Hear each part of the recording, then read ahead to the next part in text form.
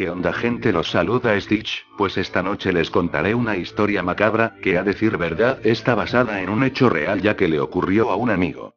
Hasta la fecha por estos rumbos no hemos sabido nada de él, pero su experiencia es muy aterradora que decidí narrárselas a ustedes, pero antes de empezar quisiera mandarle un saludo al usuario Shanderxfiles, he visto sus vídeos creepypasta y la neta son muy buenos. Cabe mencionar que la historia en sí es corta, pero la neta, la historia es más larga pero hay cosas que es mejor no mencionarlas, ya que puede ser traumante.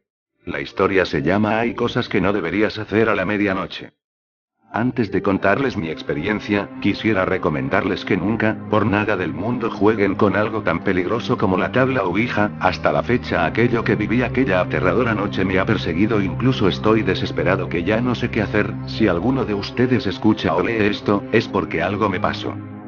Todo inició un día muy chido en mi vida, pues era mi cumpleaños número 17 y estaba a un año de ser legal, es decir, que ya muy pronto iba a tener carro, mi credencial de lector y no sé, tal vez algo más que una amiga. Pero mi suerte cambió cuando mi primo de nombre Rogelio me regaló un tablero algo raro, tenía dibujada una luna y un sol, el alfabeto y las palabras y no. Debo aclarar que yo no sabía qué chingados era ese juego, pero mi primo me platicó que era un tablero que te permitía comunicarte con los muertos, obviamente a mi madre le dio un poco de risa, y mi padre solo me dijo, Hijo, si piensas jugar con esa cosa, debes tener mucho cuidado. Yo le dije en tono burlón. Papá no creo en estas cosas, además tú has visto las pendejadas que sacan en la tele los que se hacen llamar cazafantasmas, no creo que pase nada. Creo que debí haberlo pensado dos veces antes de tocar ese juego maldito, cuando todos se fueron yo me quedé en la cocina solo, mis papás ya se habían ido a dormir y como soy hijo único no tenía que preocuparme de ir a cuidar a un hermano menor, decidí sacar el misterioso tablero, e intenté platicar con algún muerto, estuve con las manos sobre el cursor de dicho juego durante 10 minutos. De repente sentí que el cursor se movió solo y tal vez pensé que los nervios me habían jugado una broma, comencé con las preguntas. ¿Quién eres? La tabla respondió. Soy alguien cercano a ti. ¿Quién? ¿Mi bisabuela? No. ¿Mi madrina? No. Entonces, ¿quién eres? Soy alguien que murió aquí hace ya mucho tiempo y quiero que tú y tu familia se larguen de mi casa.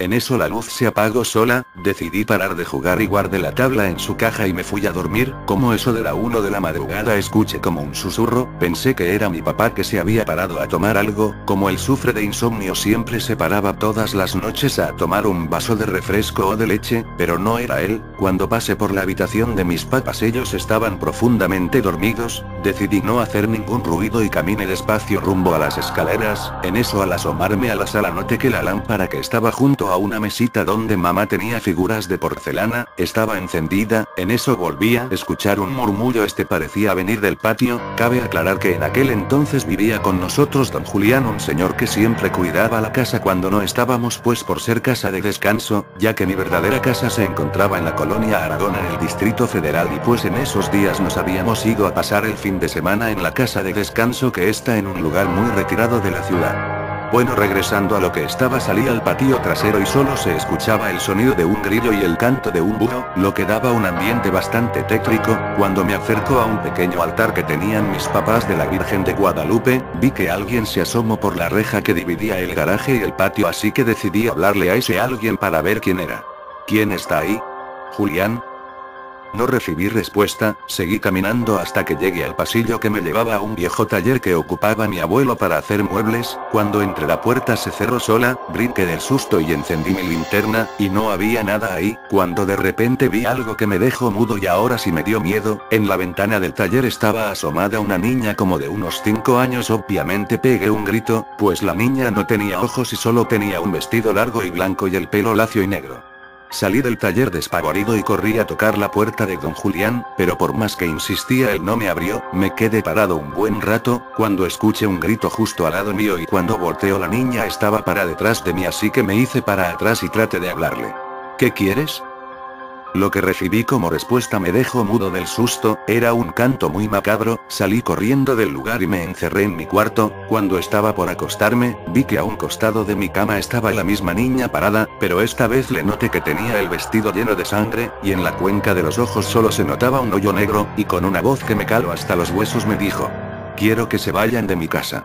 Cerré los ojos esperando que todo hubiera sido una pesadilla pero no era así, cuando los volví a abrir solo noté su cara asomada en medio de la ropa amontonada en el closet, en eso empecé a oír como la niña cantaba la canción infantil Don Pirulín, trate de taparme los oídos pero aunque me los tapara seguía oyendo esa melodía, después volteé hacia donde tenía una estatuilla de una dama con un vestido largo y cuando la vi noté que donde tenía los ojos, los tenía como cerrados que por cierto cuando mi mamá la compró si tenía los ojos pintados, lancé un grito estremecedor, y lo que hice fue agarrar mi balón de fútbol hacia donde estaba esa estatuilla haciendo que se rompiera a pedazos, lo más raro es que mis papás no se despertaran con tanto ruido eso me sacó un poco de onda, cuando voy a su habitación noté que ellos seguían dormidos, moví a mi madre bruscamente hasta que ella despertó.